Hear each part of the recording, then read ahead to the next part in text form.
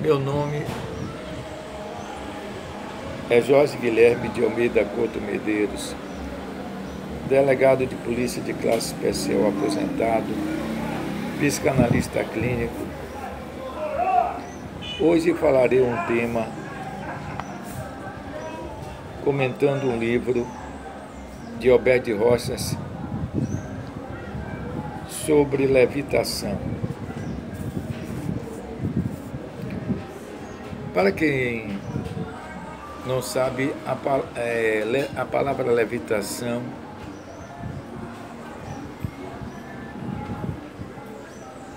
em metapsíquica, segundo o autor Obed Roças, que fez pesquisas sobre a levitação, ele diz, no, no capítulo 1 do seu livro, que está aqui em minhas mãos,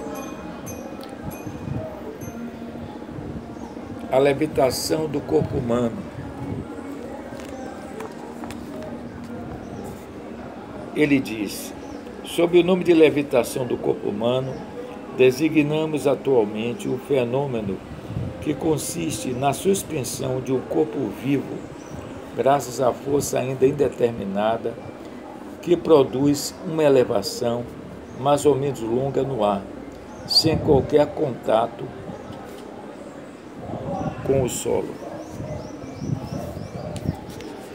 É a definição que se tem em metapsíquica, que hoje se chama, tem uma terminologia mais moderna, que chama-se parapsicologia.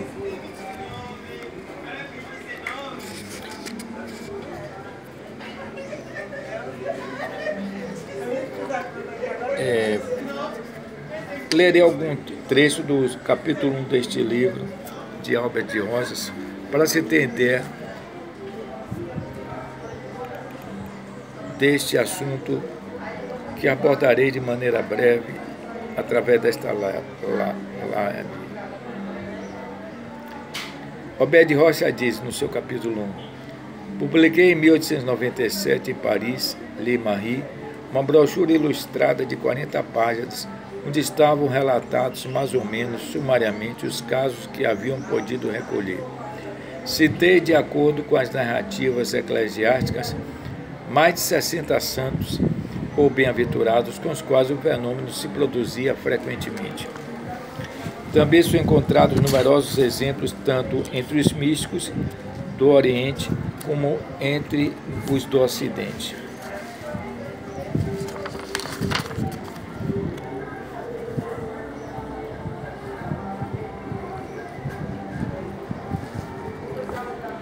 O fato segundo esse autor, pode ser considerado como certo, como ele diz, restando apenas achar a explicação.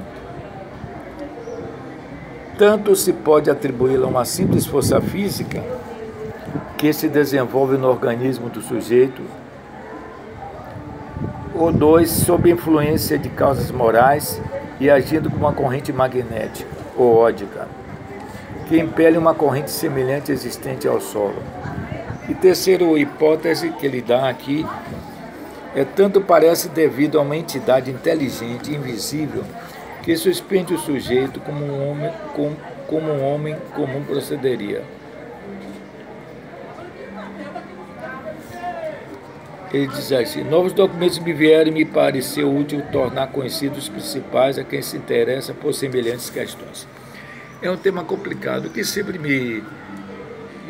As coisas sobre parapsicologia, além da psicanálise, sempre me interessou. E, e sempre me, eu disse, será que existe a, a levitação? Que até na, no, na história dos santos católicos dá-se fato de, de levitação. Por exemplo, são com a levitação de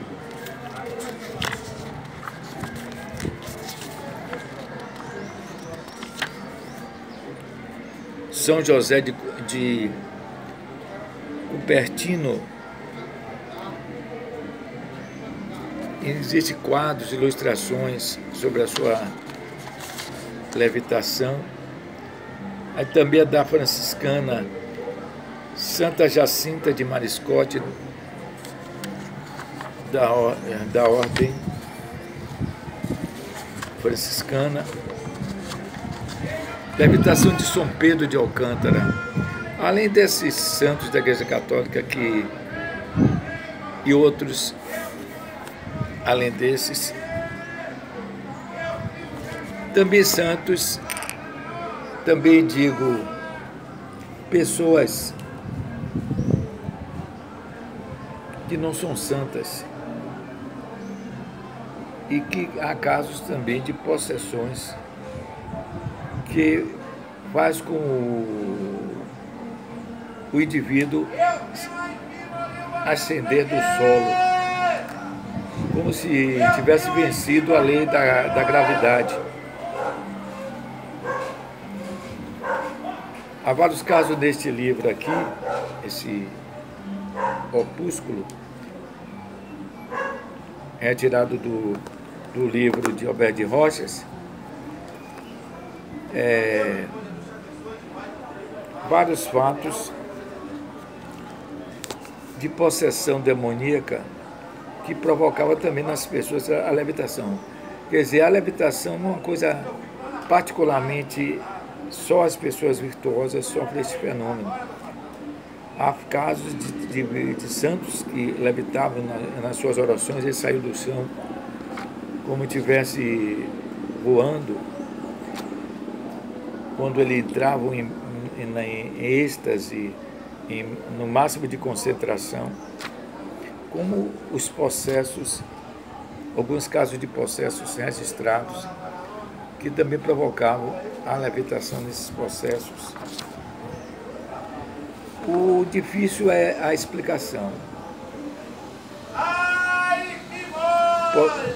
Para os crentes, pode ser uma coisa divina, uma coisa de Deus, que eleva milagrosamente uma pessoa do chão. Pode ser também, segundo as pesquisas sobre o assunto, pessoas que sobre a possessão demoníaca. Há casos também no Espiritismo de médium. Esse livro, Alberto de Rochas, que está aqui em minhas mãos, ele dá vários casos de possessões. Ele faz um registro, mas ele não se define a causa Aliás, não se sabe a causa. E pelo que eu tenho meu conhecimento, não se sabe verdadeiramente as causas. As causas prováveis são essas três. É a possessão demoníaca ou uma coisa da divindade. E às vezes explicados também através de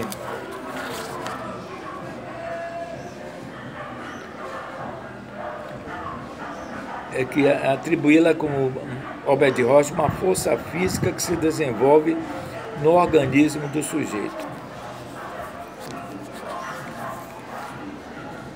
É importante também saber a história de Albert de Rochas, que foi um. Eu daria uma, uma biografia rapidamente dele, aqui, que é o, autor diz assim, alguns, eu vou dar algumas nações do seu, noções dos seus dados biográficos. Eugênio Auguste Albert de Rochas de Glum nasceu em Saint-Firmin, Alpes, Alpes, no dia 20 de maio de 1837 e morreu em Versalhes no dia 2 de setembro de 1914.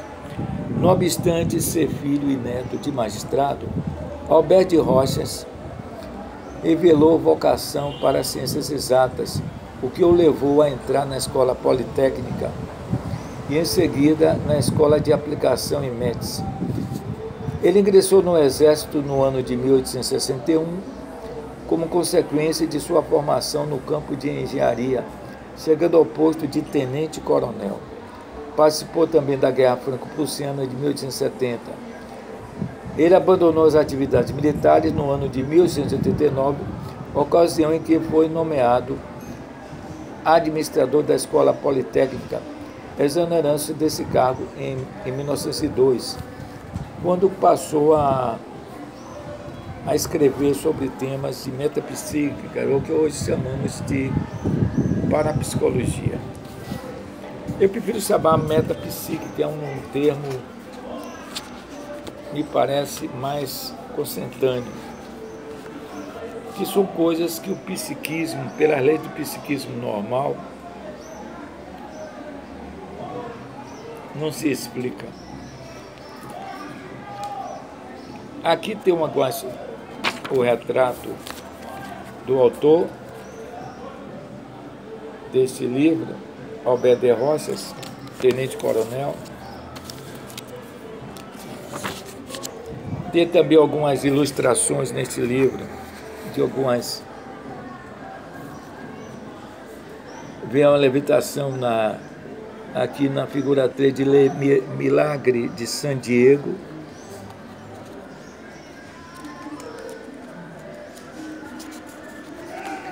E outras ilustrações aqui. Temos de Santa Ma São Martim de Porres, temos de São Pedro de Alcântara, aqui outra gravura sobre meditação. Aqui a, a, a também uma ilustração de, baseada no quadro de Santa de Jacinta de Mariscote, aqui de São José de Copertino, foi o que tem mais casos de eh, levitação registrado sobre ele. E outros santos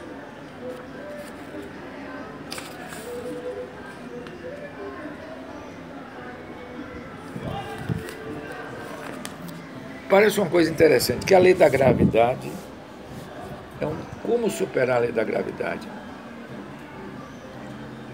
Há essa atração dos corpos ao Sol. Se isso poderá ser explicado fisicamente, até hoje não se sabe uma resposta certa da explicação da levitação, pelo que eu tenho conhecimento.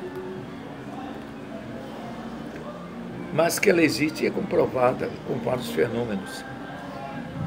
Eu trouxe é, estas informações que vocês poderão encontrar este, este livrinho, que é retirado de um livro do próprio Alberto de Rochas, que ele fala sobre levitação.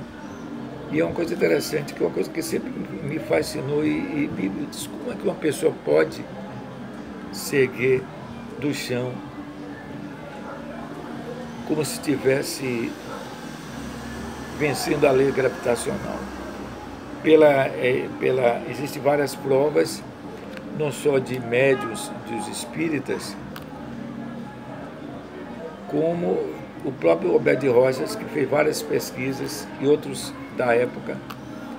Porém, difícil é saber qual a causa verdadeira, se é algum fato sobrenatural, um milagre divino, até mesmo uma, através de uma possessão maléfica.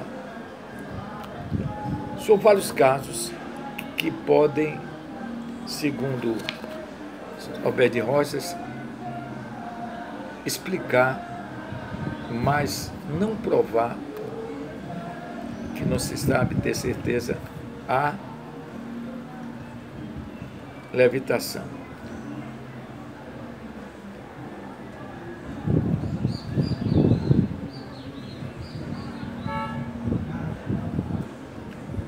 Tanto a, Igreja Católica tem seus santos que levitaram, como tem na, em escritores espíritas que falam de médios que levitaram. Isto em resumo o problema da levitação é um estudo interessante para os interessados em parapsicologia ou metapsíquica.